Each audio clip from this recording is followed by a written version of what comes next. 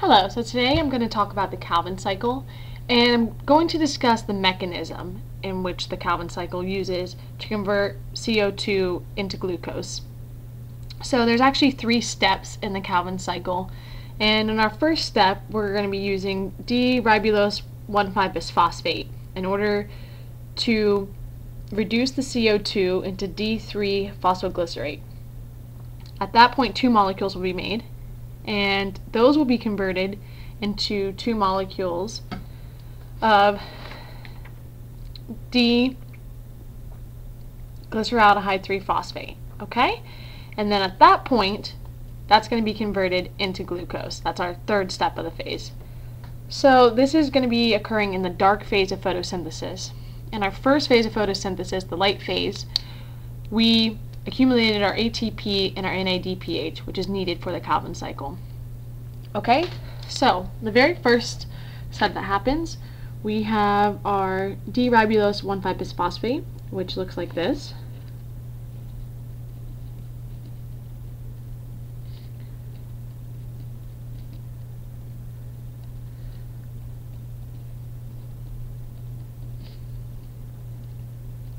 Okay, so I'll write that out for us. D-ribulose 1, 5.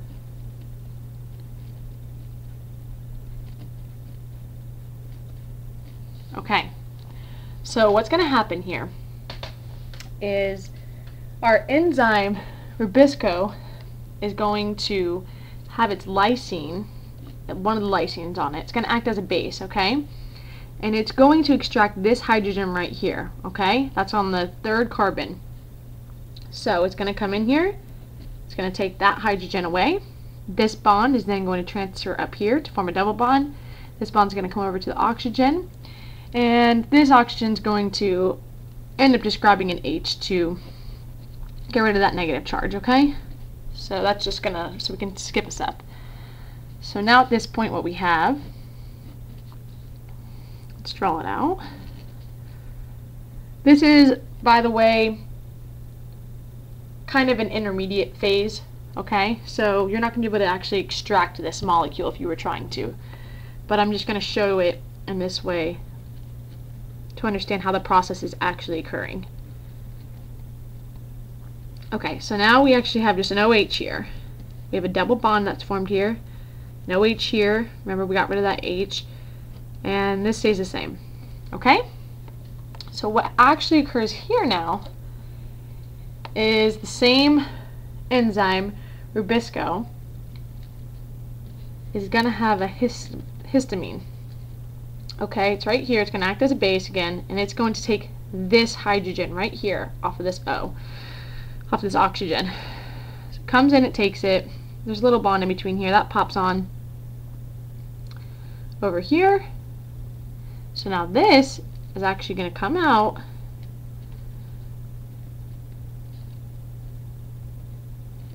Okay takes the hydrogen. This bond pops over here. It's going to pop this bond out act electrophil electrophilically it's going to take it's going to attach that C. It's going to pop a bond over to the oxygen like that.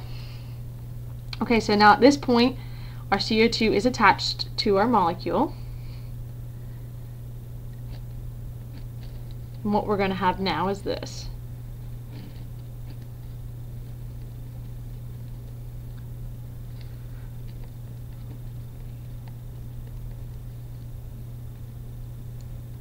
Okay, I got our OH, and now we have a CO2 negative, okay? Because that negative, this bond came over here, it's making it negative. Okay?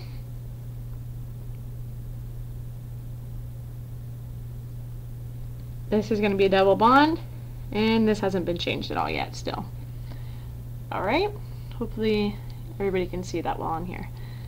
So now at this point what's going to happen is a water molecule is actually going to come in and it's going to attack our carbonyl group right here, okay? So, one of the lone pairs of electrons is going to attack. That bond pops onto that oxygen right there. And now we end up with this intermediate.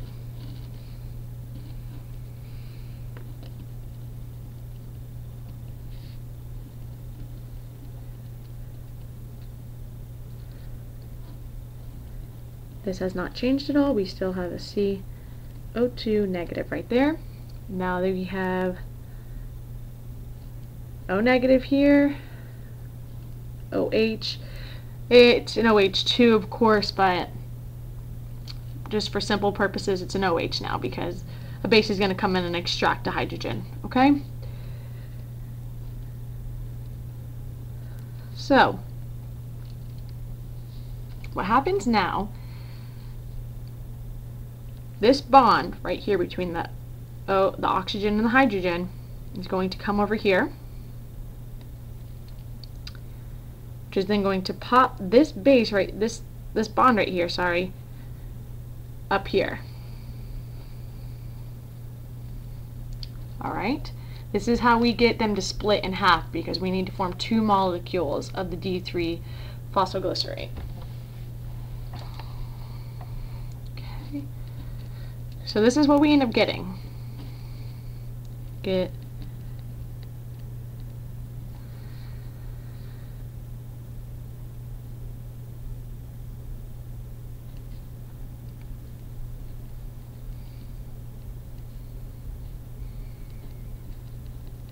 Just gonna draw that's our negative, okay? Our two electrons that were popped up onto there. Okay, so that's the top portion of it. If you want to split it in half, you can look at it like this. This is going to be one molecule. And here's going to be our other molecule down here, okay? One carbon, two carbons, three carbons. One, two, three. Alright? So, the top part looks like that once it splits. Our bottom part is going to look like this at that point.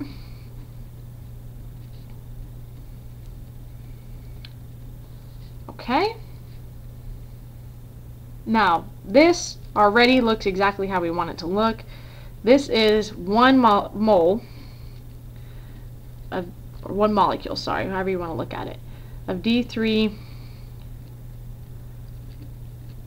phosphoglycerate, okay? Now we actually get two out of this, so what happens here is our lysine from up here, it grabbed the H. So it's got that H attached to it. And this lone pair of electrons is going to come over and it's going to take that hydrogen back, okay?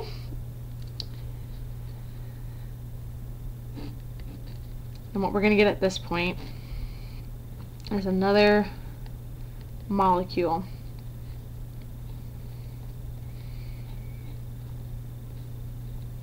of D3 phosphoglycerate. Okay, you can see them. This is just upside down version of that. All right, so that is step one of the Calvin cycle. Now we can move on to the second step, which is converting both of our molecules of D3 phosphoglycerate into our D-glyceraldehyde 3 phosphate. Okay? So let's go ahead and redraw that now.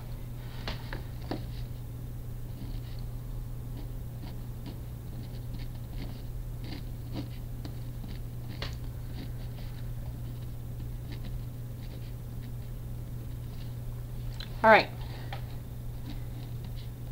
D3. Phosphoglycerate. Okay, now this is where our ATP is going to come in hand that we just created in the light phase of photosynthesis. So ATP is going to be used and we're going to end up adding a phosphate group to this carbon right here, okay? It's actually going to bump off the OH. So what we end up getting is this. And like I said before, I'm not concerned with the enzymes that are doing this.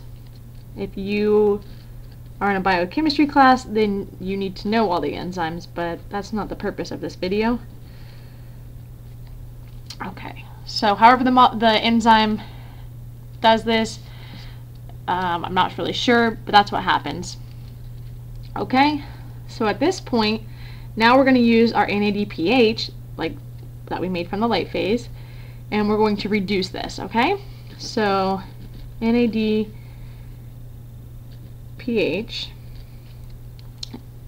is going to give up electron, okay, I mean a hydrogen, sorry, which is then going to attack this carbon, which is going to pop off our phosphate group, okay?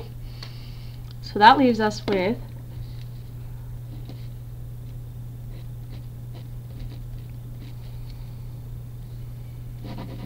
sorry.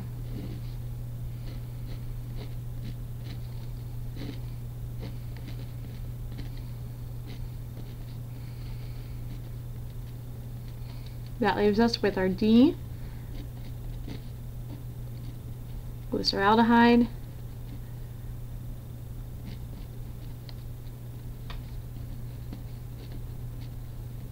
3-phosphate, okay?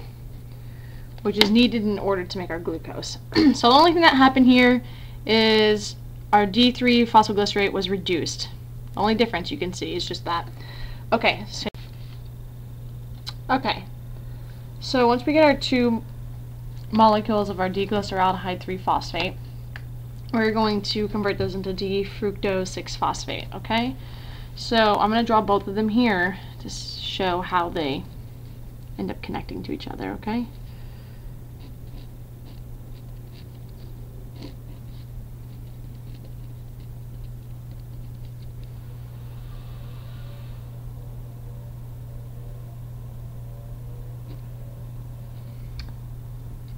All right.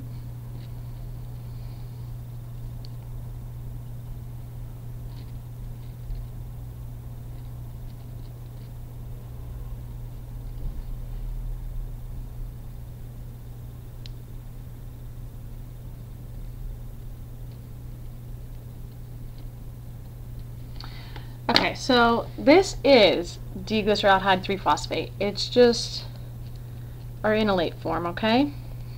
And pretty simple, I would think, to just realize how these bonds are moving around in order to form that, okay? So they can be in this form or this form. This is the more stable form or keto form. Okay, so what's actually going to end up happening here is these this lone pair of electrons is going to attack our carbon right here make this bond come over here. Now these are going to be connected and what we're going to have is this.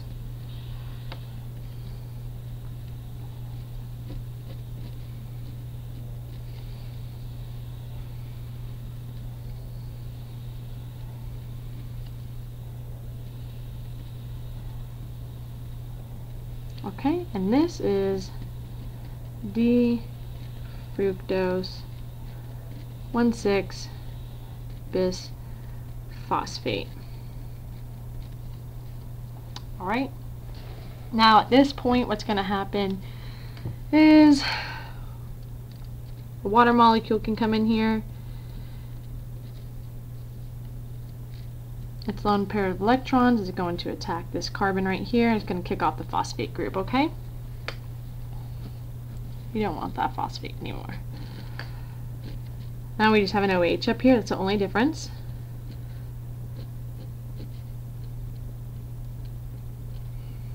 And keep in mind the chemistry of this, where the OHs are going to lie on the right or the left, is all dependent on how the enzyme does it.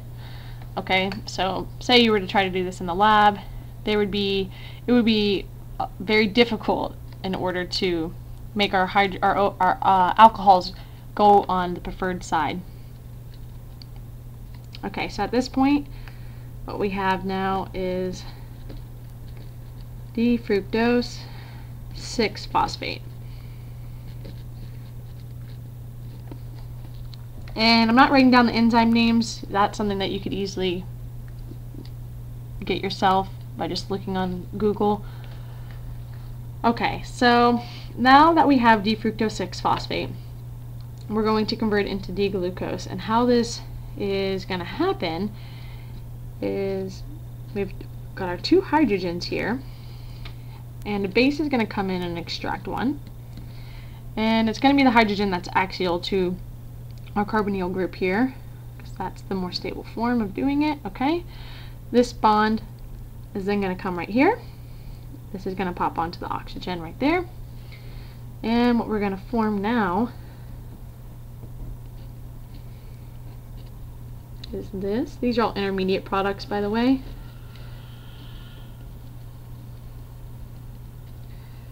So we've got our double one right here.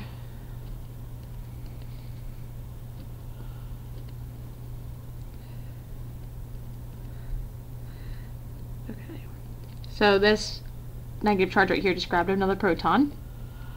And what's going to happen now is this lone pair of electrons is going to pop on down here, and this double bond is then going to come out and grab a proton.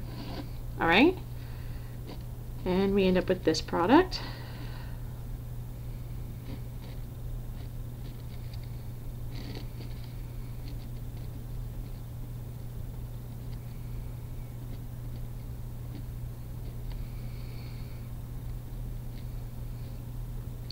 That's our hydrogen we just grabbed.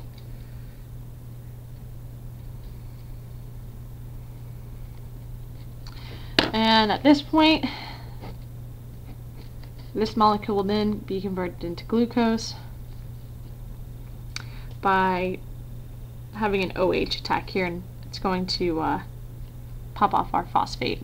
The enzyme, of course, is going to be doing all this. So, this is what we end up getting.